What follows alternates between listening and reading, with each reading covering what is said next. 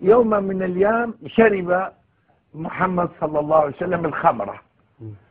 ثم ذهب فألقي آه، آه، إلى مزبلة.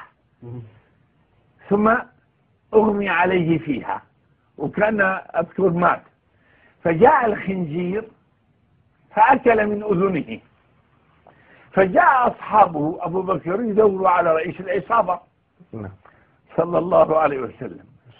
فوجدوه شارب للخمر نايم على المزبلة النجاسات والخنزير أكل من أذنه.